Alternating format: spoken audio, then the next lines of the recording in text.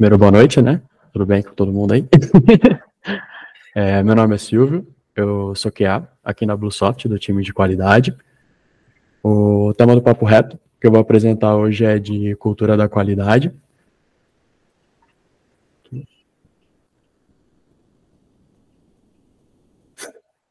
Bom, a motivação para esse papo reto partiu ali do TDC, né, que ocorreu na semana passada, na trilha de Quality Management, onde apresentaram boas práticas e eu achei legal trazer para vocês algumas delas. Iniciando ali pelo que é, né? Cultura de qualidade significa que todos na equipe de desenvolvimento de software acreditam que fazer um bom trabalho e criar um software de alta qualidade é muito importante. É como se fosse um hábito que todos na organização têm, onde eles sempre se esforçam para fazer um trabalho bem feito. É algo que está na mente de todos e não apenas no conjunto de regras no papel. Mas será que ela é mesmo importante? Fica aquela dúvida, né? Ah, aí eu trouxe aqui o que a falta dela implica. São clientes insatisfeitos com as entregas, né? Solicitam novas funcionalidades e melhorias que contêm bugs e que na resolução resultam em mais bugs resultando em retrabalho. Ao invés de olhar para frente, o time fica sempre voltando para consertar o que já fez. O que gera perda de dinheiro, gastos com folha de pagamento, que só aumenta, mas a produtividade não sobe ou está caindo. E até vidas, né? Pode ser perdidas nos casos de software embarcados, como veículos autônomos, é, equipamentos médicos, de segurança ou defesa, por exemplo. Eu citar até aqui uma das palestras, o, o palestrante ele deu o exemplo de um sistema de defesa de um país onde o objetivo era interceptar possíveis ataques. Aí houve uma situação onde teve 90% de êxito desse sistema é, na interceptação.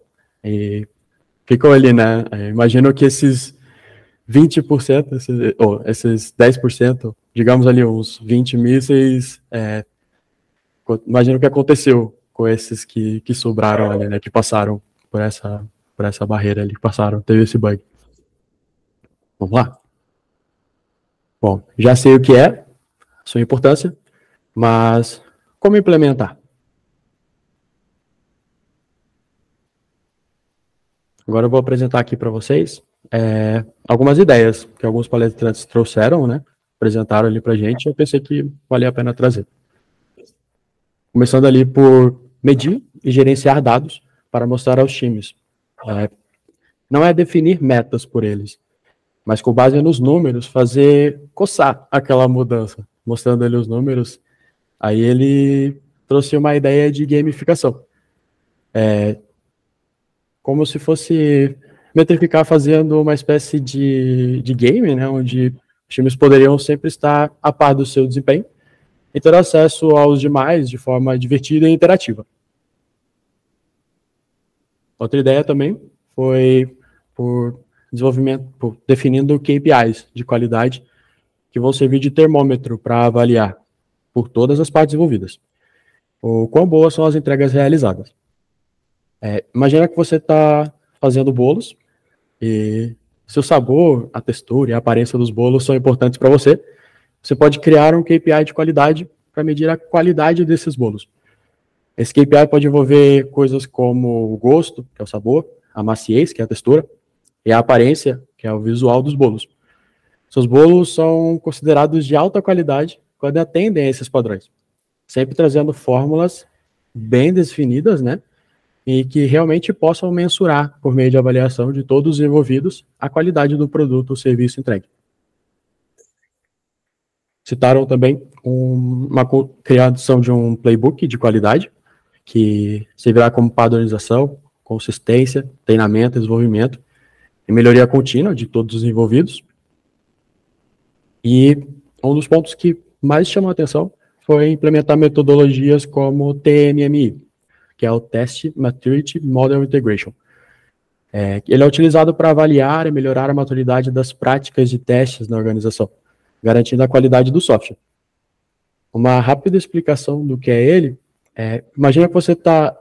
É, ele é como se fosse um guia, né? Uma, que ajuda as empresas a aprimorar a qualidade do software, como se fosse um mapa que para tomar o, é, para tornar os aplicativos e os sistemas mais confiáveis e sem erros, o que é ótimo para todos, desde os usuários até os desenvolvedores. É como um caminho para a excelência de um teste de software. É, o TMM é, ele, é, ele possui cinco níveis de maturidade que representam etapas para melhorar a qualidade do teste de software. No primeiro nível, é chamado de inicial, é, os processos de teste são ad hoc, onde os testes são realizados de forma desorganizada ainda, sem processos bem definidos ou planejamento, o que pode levar a resultados inconsistentes e menos confiáveis. É como tentar cozinhar sem seguir uma receita ou um plano de preparação. À medida que avançamos para o nível 2, que é o gerenciado, os processos de teste são planejados e gerenciados, mas ainda podem ser inconsistentes. No nível 3, que é o definido, os processos de teste são bem definidos e documentados, tornando mais previsíveis e consistentes. À medida que progredimos e atingimos o nível 4, gerenciamento, é, gerenciado quantitativamente, quantitativamente, onde a qualidade de software é medida e gerenciada de forma quantitativa, permite melhor controle. E no nível 4, o mais alto, chamado otimizado, os processos de testes são continuamente aprimorados para alcançar a excelência quali da qualidade.